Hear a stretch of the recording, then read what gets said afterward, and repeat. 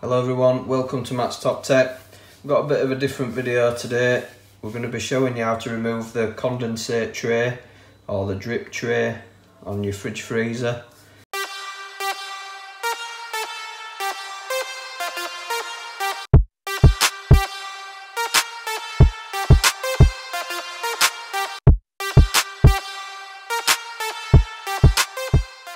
I've had a look online, there's not much out there about this and some people do really struggle to, to empty these. If you've ever noticed some strange smells in your kitchen, around your fridge or your freezer, around the back of them you've got what you call the drip trays where all the condensation off the back of your fridge, it'll, it'll run down the back of the fridge and then it'll go into this drip tray.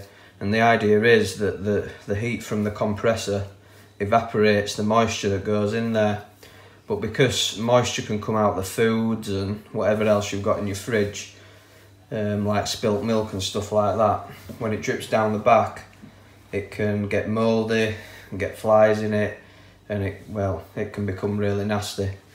So all you need to do is just pull your fridge freezer out and at the back you'll notice there's there's a tray chances are it's all mouldy and it's got some um, foul smelling liquid in there so I'm just going to quickly show you how to, to take it out because some people don't know that you can actually take these out on most modern models of fridges and freezers um, which makes it a lot easier because trying to clean them while they're in the back of the fridge um, is pretty impossible to be honest. So I'll just go ahead and show you that now guys. So on most of them underneath is a clip that holds it onto the top of the compressor. Some of the older ones will have um, pipework actually inside the, the drip tray, so them ones, the chances are you won't be able to remove them. Um, but like I say, most modern ones now you can. So to get them out, on the bottom, underneath, there'll be some um, like glue, like a tarry glue that holds them into place. And also there's a clip underneath and to get them off you need to pull them quite hard. You have to apply quite a lot of force to get them out.